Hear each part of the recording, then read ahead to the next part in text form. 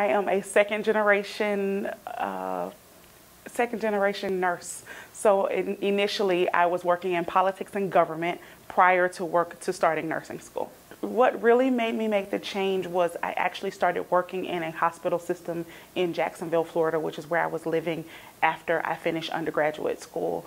And I really fell in love with patients. So in that time, I decided I was going to go to nursing school. So came back home and made the decision to come to nursing school. I chose Fortis for a number of reasons to get my associate's degree. The first reason was that it was local.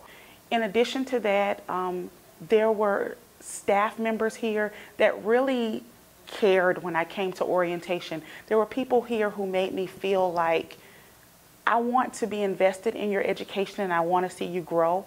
And that for me pushed me to say, you know, that's that's the place I need to be.